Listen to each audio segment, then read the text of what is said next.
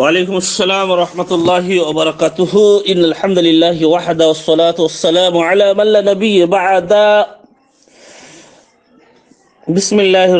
রহিম। ওয়া ইযা হুইয়াইতুম বিতাহিয়াতি ফাহিয়ু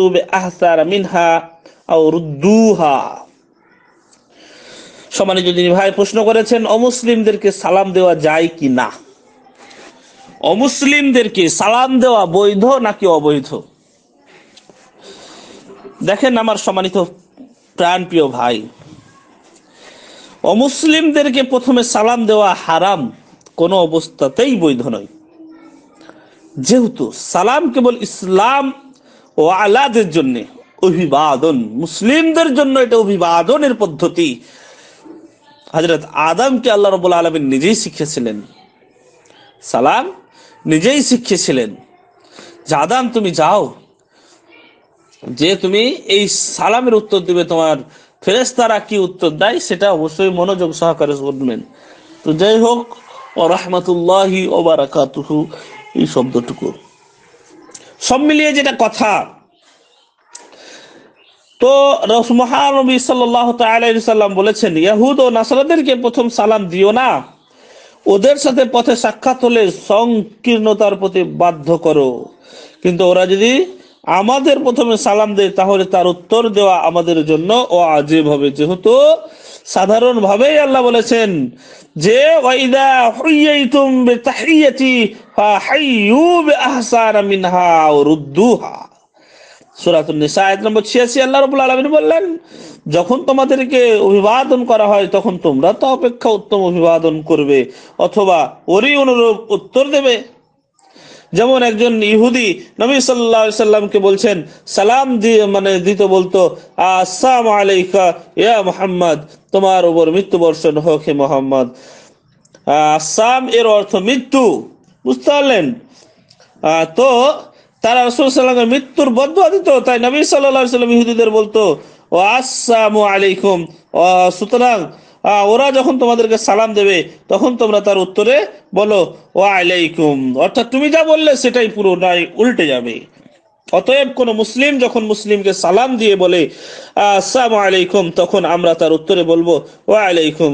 উপরন্ত তার উক্তি ও আলাইকুম, এ কথার দলিল যে ও যদি তোমাদের ওপর সালাম বলে, তাহলে তাদের ওপরে সালাম। সুতরাং ওরা যেমন বলবে, আমরা ওদেরকে তেমনি বলব। এই জন্য কতগুলো ওলামা বলেছেন যে, ইহুদি, খ্রিস্টান বা অন্য কোন মুসলিম অমুসলিম, যখন স্পষ্ট শব্দে ও আলাইকুম, আসসালাম আলাইকুম বলবে, তখন আমাদের জন্য ওয়ালাইকুম আসসালাম বলে উত্তর দেওয়া বৈধ হবে।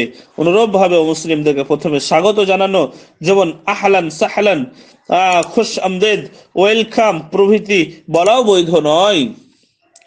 যেহেতু এতে তাদের সম্মান ও তাজিম অবিভক্ত হয়, কিন্তু ওরা যখন প্রথমে আমাদেরকে ওই বলে স্বাগতম জানাবে, তখন আমরাও তাদের কোনরূপ বলে উত্তর দেব।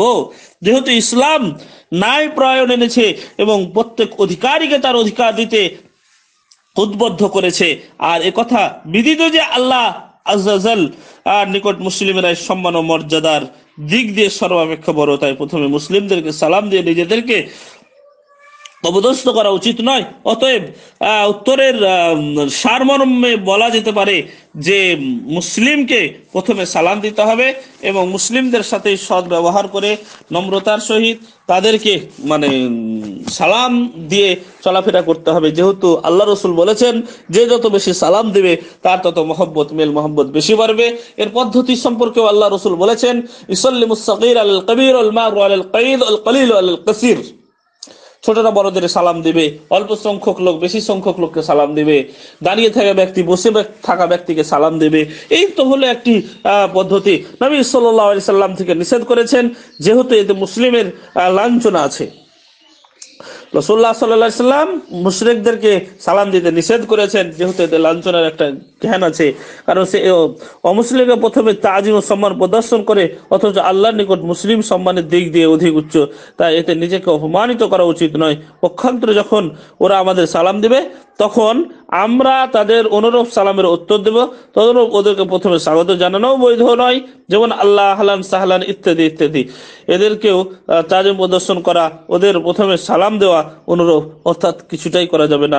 ইবনে উসাইমিন রাহমাহুল্লাহ, এই সমস্ত কথাগুলি পরিষ্কারভাবে জানিয়ে দিয়েছেন এবং বুঝিয়ে দিয়েছেন এবং আল্লাহ রব্বুল আলমিন যাতে করে আমাদের এর উপর ভালোভাবে ইমান এবং বিশ্বাসের সাথে যাতে আমরা আমল করতে পারি। আমিন। আসসালামু আলাইকুম রহমতুল্লাহ।